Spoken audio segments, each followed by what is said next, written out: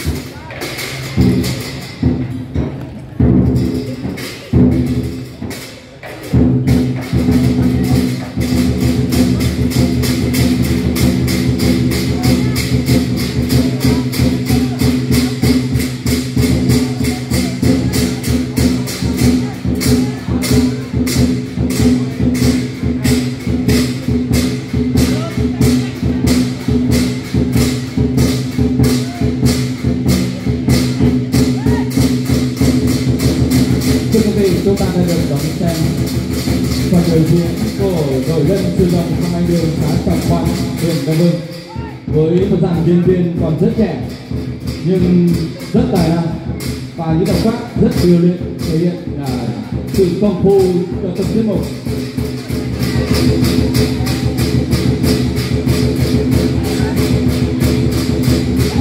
Xin mời quý vị và các bạn hãy cùng ghi lại những uh, hình ảnh,